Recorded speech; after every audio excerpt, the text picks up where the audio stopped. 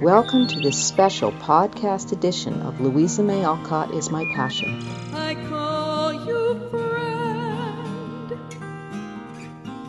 Though you lived long before me, it's your words, your wisdom shining through.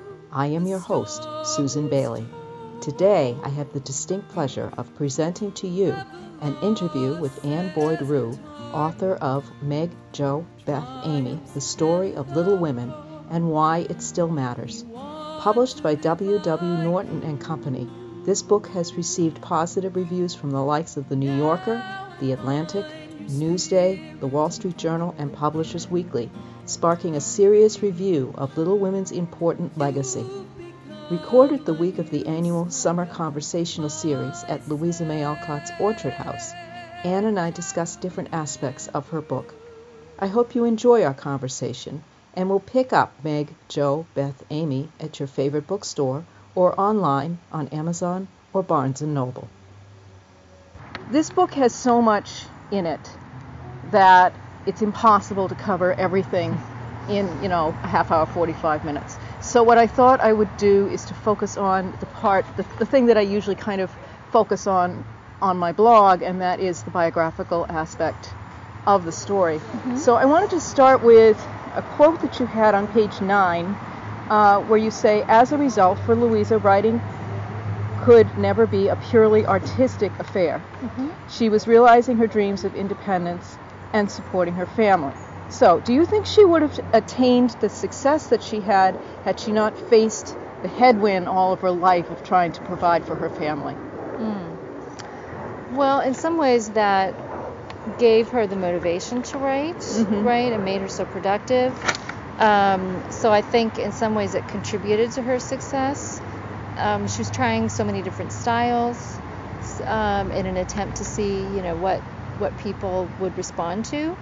Um, and I think that by writing in so many different genres, I mean, the if you look at the thrillers, they obviously do inform the children's fiction in some respects, right? It kind of made her, in some, ways, a more well-rounded writer. Um, but at the same time, it's it is kind of um, interesting to imagine what her career would have been like had she not had those pressures to crank out so many what you might call pot boilers, right? The sensation fiction, even though she enjoyed it, was clearly an attempt to earn money for her family. The children's money, ob- or the children's literature, obviously was uh, um, was an attempt to, you know, feed her family and you know provide for her nephews and niece. And so, it's you know I think she probably would have written more works uh, like Moods and Work if she'd had the capability to do so. Um, and even though her children's fiction is so beloved, I think it would be nice to, to have more of the adult stuff too. I agree. Yeah. Um, the recent discovery of manuscripts for some of Alcott's other books dispels the notion once and for all that Louisa did not edit her work. Yet you discovered this too in the only surviving manuscript for Little Women. It shows her evolution from a writer of thrillers to a writer of children and young adults. Describe what you saw with these edits and how the story evolved from them. Well, there are only two chapters. Mhm. They're at the Concord Free Public Library. They've been there for so long that the curator, Leslie Wilson, doesn't even know how they got there. Okay? Wow. So they've been there a long time. Mm-hmm. Um, I think people didn't seek them out. Well, first of all, because people think, oh, Houghton is where everything is. But actually, no, there's all these great manuscripts at Concord Free Public Library. Also, there's been such an assumption that she just dashed things off so quickly. If you look in her journals, you see that, yeah, she was writing these, these novels really quickly. But um, if you actually sit down and compare, there are two chapters. One is the heartache chapter in which Jo turns down Laurie. The other one is foreign correspondent, which is Amy writing her letters home from Europe. And in those two, on the back of the the Amy chapter, she has written in her own hand, "Saved by Mother's Desire." so obviously Abigail was fond of these chapters, and she saved them because otherwise uh, Louisa would destroy the destroy the manuscripts once the proofs were created. She had no more need for them, and certainly I don't think she had any anticipation. Well, actually, no, that's not true. This was the second volume. These are both from the second volume, so she would have known how popular the first volume was and that her story was so popular, but maybe didn't anticipate that manuscripts would be so desired. Um, in her own hand, they're the, the the ink is rather faint, so they're kind of hard to read. But you will notice, especially in the Amy chapter, significant changes from the um, what we have in the book. Um, Fred Vaughn, for instance, um, does not follow her to Europe, does not seem on the verge of proposing. In fact, she leaves him back in London. We never hear about him again. She never contemplates marrying for money. Okay, so that's a big difference. Instead, there's this Captain Lennox, Lennox guy that she picked up on the boat who follows her over and is like a you know sick puppy dog can't get enough of her and is jealous of all the german boys serenading her and uh, clearly wants to to propose and she's trying to put him off. She has no interest in him. So it's a very different dynamic very different amy. Um, in the heartache chapter uh, she crossed out a couple of things where laurie clearly is in that scene uh, not taking no for an answer and he grabs her and he kisses her. And I think what I see happening in, in these chapters is her adapting her stuff. This is her first children's book. And so she's realizing, oh, I need to tone down the passion a little bit, the flirtation with men a little bit, right? The kinds of things that might have been more acceptable in her sensation fiction, uh, which she was quite used to writing. So I think part of it is a style issue, and part of it maybe is, um, you know, wanting to kind of pull back from fully exploring the these girls as becoming sexual beings, Mhm. right? Mhm. So which is kind of an interesting, I think, dynamic. That insight about her toning down her Mm-hmm. thrillers writing, it you know it seems like if you don't know the inner stuff, it seems like she's leaping from one thing to the next and how the heck did she change from being you know a writer of pulp fiction to somebody who wrote wholesome children's stories. Right. So it's interesting to see the process, and I mean, Yeah. here again, we have this. This seems to happen so often in Mhm. Alcott scholarship, and maybe all scholarship. It's right there in front of your face, but nobody ever looked for it or looked at it. Right, you can't say I discovered them. No. Because they've been there all the time. And I know that there's at least one other Alcott scholar who, who mentioned that he looked at them. Mm-hmm. Um, but maybe didn't spend the time comparing them to the original. I don't know exactly. But but frankly, no one has spent much time with any of the manuscripts yet. Um, and, and they they're people are starting to do so now, I think. Right. Yes. Yeah. Yeah. So I'm- particularly with I'm- that discovery of, of um, what was it, Eight Cousins? I think they have a whole Well, manuscript and for under, right, maybe. it- Well, Under the Lilac is the one they purchased last Oh, year. okay, yeah, For mhm. a, a, a quite significant but undisclosed sum, apparently. I can imagine. right. I can imagine that's a huge find. Right. So right. excellent. Okay. Um, you have an uncanny ability to say what we've all been thinking, but have never bothered to put into words. Insight so obvious, yet never identified. For example, you say that Bronson was a sort of religious fanatic. These two words, at least in my mind, opened up a new understanding while answering many questions. Yeah. You also pose the most obvious of questions which no one has ever asked. Quote, what could possibly make a man so obstinate that he was willing to allow his own family to starve? There is no simple answer. Please comment. I said there was no simple answer. No, well, there isn't, but I. No one's I ever know. said that. I read that and I'm like, yeah. right. It's so obvious. Exactly. Duh. Yeah. I think.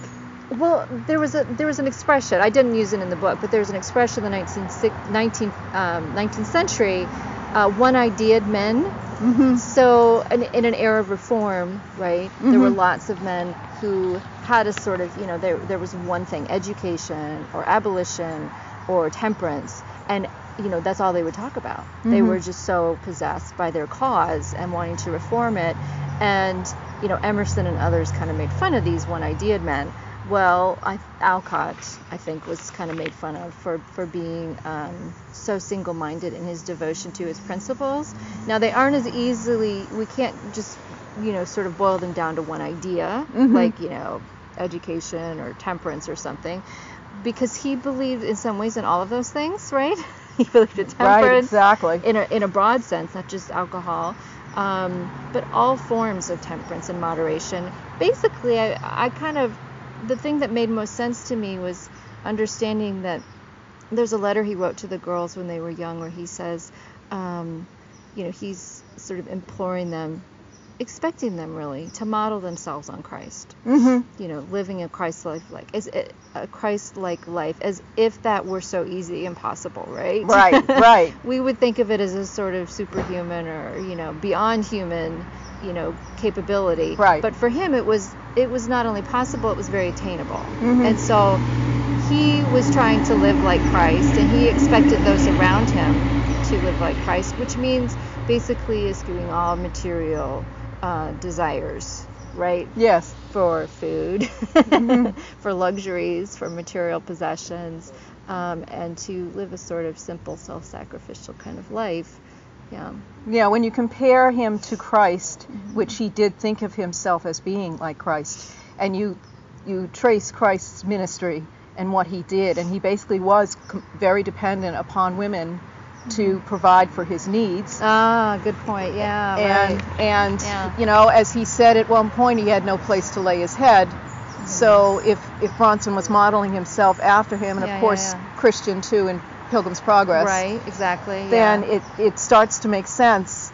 right because he thought the Lord will provide. Right. and the Lord will probably probably provide primarily through women, right? But that that the women or the people around me will take care of me if if the Lord wants me to thrive, right? Right. And so at Fruitlands, when everything you know goes haywire and, and they can't support themselves and you know they're practically starving and winter's coming and setting in and he rea- and everybody's leaving and he realizes it's a failure he's just lost his will to live because Right. that means that the lord does not, did not provide that did not you know view him as uh, this is a worthy endeavor. And he put all of his eggs you know into that one basket. Uh-huh. and so it took abigail you know kind of all practically carrying him to the wagon to say you know we're gonna we're gonna get out of here. We're gonna move to a house. We're gonna carry on.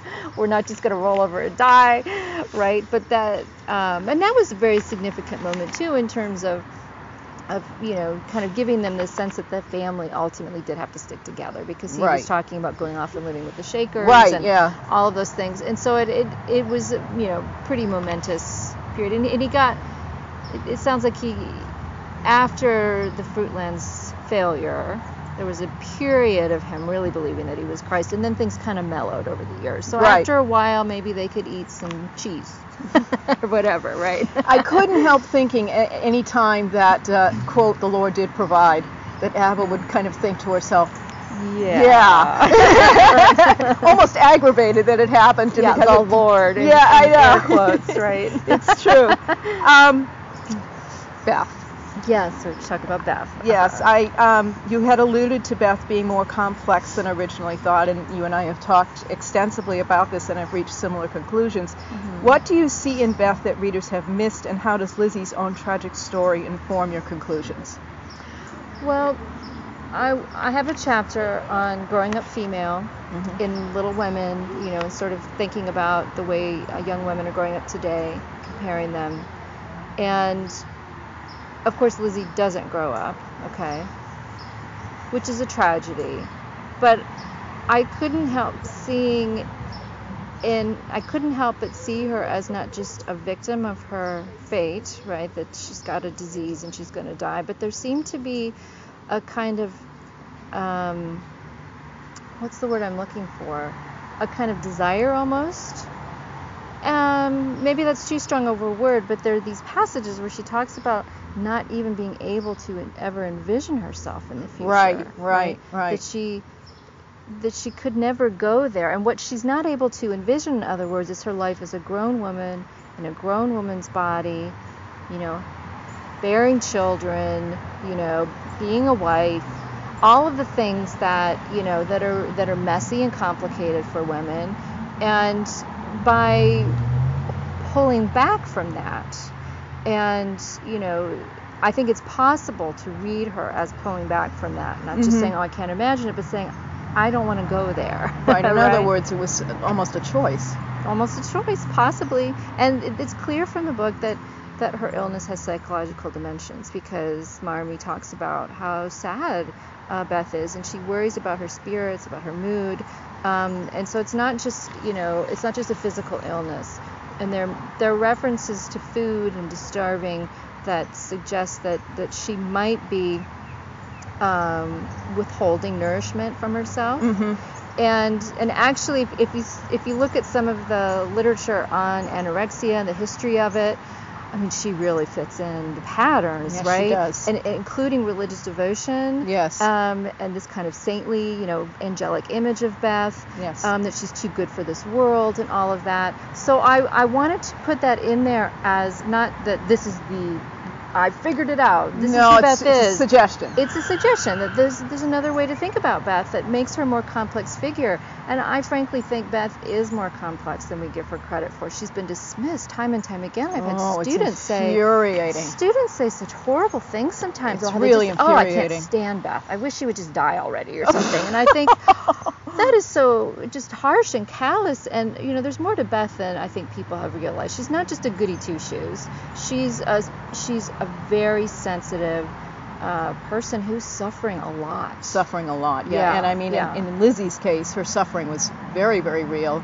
I mean, Right. it- Louisa glosses over that, you know, because it's a children's book, but in real Yeah, life, exactly. she lost all her hair. She weighed Yes. like less than 80 pounds. She Well, was. the fact that she, yeah, Lizzie, the real Beth, died of a wasting disease, and that's all we really know. Mm-hmm. We don't know exactly what caused the wasting disease, right? But we know she was skin and bones when she died.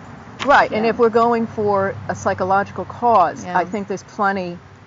It, again, it's another one of those things that's in plain view that nobody has ever Right. sought to. Well, look at how the family was. I mean, you know, Bronson Alcott was encouraging them to restrict their eating um, and the way that they, you know, the kinds of foods that they ate, Mm-hmm. um, and you know that they were supposed to deprive themselves. That was their religious, spiritual mission was to deprive Well, themselves. right. He was fa- he practiced fasting, and Lizzie very much embraced, you know, her father's teachings, and so that would make sense that she would, to please him, would embrace that herself. Another thing about eating disorders is is I remember reading in uh, Megan Marshall's book on the Peabody sisters, and she mentioned about Sophia and how she used invalids, in, being an invalid to speak, you know, to, to make her voice heard Yes. above the noise, above all the powerful sisters. right, right. And we've got a situation here where we've got Oh, three, similar, yeah. yeah, uh, three powerful sisters, and one who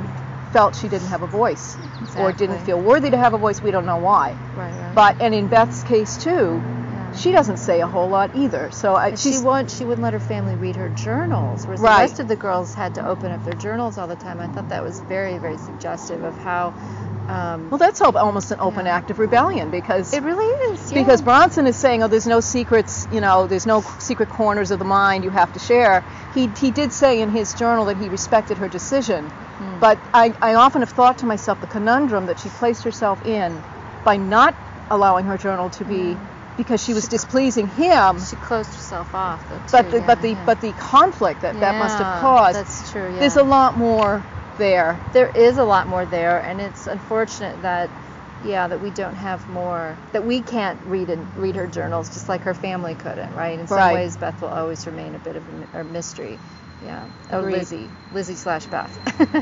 Um, limiting Meg's interest in the theater. In reading Jo's Boys, Meg reveals a far deeper interest and even ambition to be an actress, much like her real life counterpart, Anna.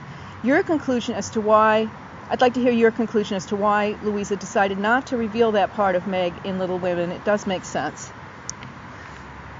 Right. I think that um, I think that she it was such a taboo thing for uh, for women to act at that time, even though they were doing it a lot of times in neighborhood theaters or in their home. Um, to be an actress commercially, to have a career. In fact, there's a story. I'm trying to remember the name of it now that was published shortly before Little Women that features four sisters. Some of them have the same names. Um, they all, in that story, one of them does pursue the stage, and she's the one who ends up, you know, sort of a tragic tale. Right, Because yes. the man, yeah, she falls in love with the man that I think she's, you know, he's in the company or something. and he rejects her because she, purely because she's an actress. She can't be a pure woman if she's an actress, and so he goes and falls in love with some simple little thing. Oh, right. Yeah, yeah, yeah. So it, it, it you know, in, in a children's story, at least, uh, certainly Louisa explored the tensions, you know, around women acting in other pieces, like Behind a Mask is another good one. Right. Um, but in her children's fiction, I think she felt like that was probably too controversial, and so so sadly, Meg doesn't have a talent that she's nurturing, that she's, you know, that she's ambitious about the way the other girls do. That's true. Yeah, Yeah. that's absolutely true. Um, in your presentation, you mentioned uh, this was the other day. You mentioned how Amy's ambition to be a great ar- artist evolved into making herself a great work of art. in the process of doing this, doesn't she also do that for Laurie? Absolutely, yeah. Well, she's making herself into a perfect work of art to be admired by men. Mhm. Okay, no, no doubt about it. She admires herself though too. She admires. I mean, she she loves beautiful things, right? And so by turning herself into a beautiful object, I think sh- it's something she appreciates.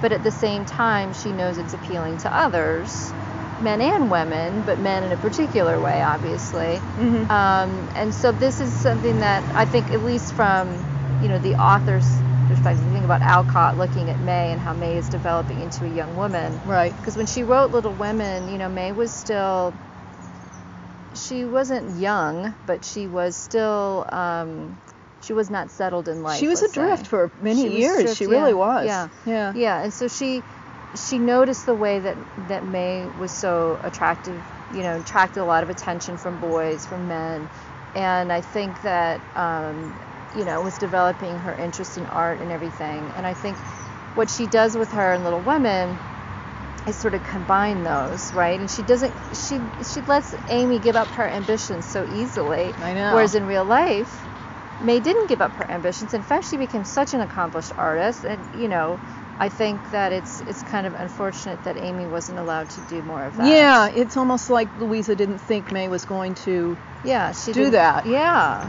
Yeah, but then of course that would have almost been out of type with the character of Amy. Well, and she felt such a pressure to marry them all off, right? So she Right. had, so she kind of worked herself into a corner of, oh, well, I've given Amy and Jo these ambitions. What am I going to do with them if I have to marry them off? And I think in Amy's case, it was she, it was the easier route to take to just have her say, oh, I'm not a genius, you know, so Right. I'm not going to be an artist, which is really sad because Jo, from the beginning, acknowledges I'm not a genius, right? Right. And I don't have to be a genius to still have ambitions and want to better my writing and Mhm. you know do something with it and express myself. Yeah. Right. Yeah. Yeah, that's very Yeah. interesting. Um, finally, on the movie adaptations, I was really fascinated by how you connected the various movies to their time period. So, in other words, the 1933 Katharine Hepburn movie, you attached it to the Great Depression. The 1949 June Allyson movie, you attached to uh, post World War II. Uh, 1994, and then of course we have the recent masterpiece Yeah. series. So I was wondering if you could elaborate on that a little bit. Oh, that's yeah. Well, the I think what in some ways what we see happening over the course of the movie, movie adaptations is the um, the girls becoming more and more real in each adaptation. Oh, yes. In some respects. Mm-hmm. Um, what what I really noticed so much about the 49 in particular, but also in the 33, is the way that, well, definitely the 33, the Katharine Hepburn, Jo, the way, actually in all three. Okay, I'll just say that. Mhm. Um, in all three of the movie, the main movie adaptations, Jo is is not the way she is in the book in the sense that in the book she is this wild colt of a girl she doesn't care that boys look at her right? She's not even trying to attract their attention. She and amy are polar opposites in that respect of course. Mhm. and she's just doing her own thing. She is herself and she's even telling Laurie all the time stop looking at me that way. Mm-hmm. you know she puts her pillow up. She wants to hold you know fend him off. Um, and she just wants to develop and grow and be herself.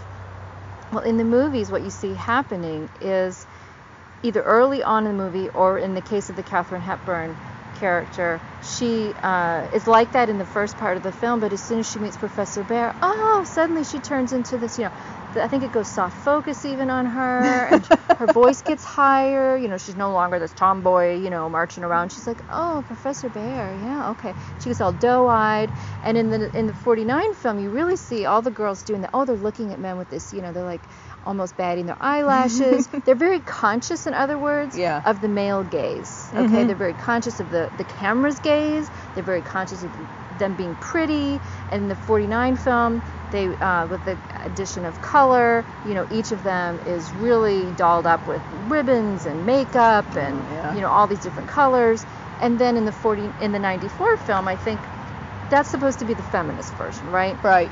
that's supposed to be the one in which the girls can you know put all that behind themselves and they can really be you know themselves and be individuals but i don't think that's happening either because they cast in the role of jo winona ryder who can't help but be beautiful and be loved and adored and she grew up with a camera in front of her Right. and she became you know you see her on camera and she's constantly looking that way just you can tell how aware she is of the attention she's getting for how beautiful she is Mm. and in her interactions with Laurie I mean my students notice this because we'll watch clips from the film and they're like oh she's like teasing him she's like egging him on and then she suddenly says no I don't want to marry you she's like touching him you know stroking his Oh, arm I never and looking that. longingly at him she can't help it apparently.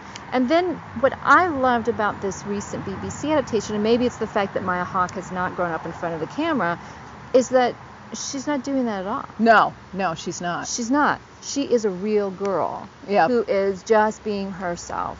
And Mhm. is and that's what Jo is supposed to be. And I feel like she's the first true Jo on film. I agree with that. I, Yeah. I think that's absolutely true. I, I, I have to say that I thought that the, uh, I can't remember the name of the actor who played Laurie, but he, to me, he was perfect. I mean, he had the right hair, he had the right look, and he was hot. He, He was, was so hot, cute. and it was tough to see him spurned when he. it really was tough. I, I'm thinking to myself, you fool. right. But then again, we have Professor Bhaer, who was adorable. So oh, the youngest Professor Bhaer yet. yeah, I was curious about the. and he doesn't they- really look, I think, like what Alcott depicted. No, He's a I don't he's- either. He's a little too young, a little too cute, but I get it. I get it. And I think that Gabriel Byrne was an adorable Professor Bhaer. Yes. Um, yeah, and and made that role, I think, a, a bit more accessible to us or imaginable to us as well. Sure. Understanding why Jo would like him. Yep. Yeah. Well, thank you so much for this time, and and uh, you can find Anne's book on Amazon.com. It's again, it's called uh, Meg, Jo, Beth, Amy: The Story of Little Women and Why It Still Matters. This is a must-have, and I congratulate you and wish you luck. Oh, thank you, Susan. It's been a lot of fun talking to you. I really enjoyed it. Thank you. The stories told. Thank you for listening to this special podcast edition of Louisa May Alcott is My Passion. You can purchase Anne Boyd Rioux's book, Meg, Jo, Beth, Amy: The Story of Little Women and Why It Still Matters, on Amazon and Barnes & Noble. The links are in the accompanying post. You can also find it at bookstores. Visit Anne's website at anneboydrioux.com to see her book signings and speaking engagements. You can also sign up for her wonderful newsletter, the Blue Stocking Bulletin. Until next time, let's all do something splendid.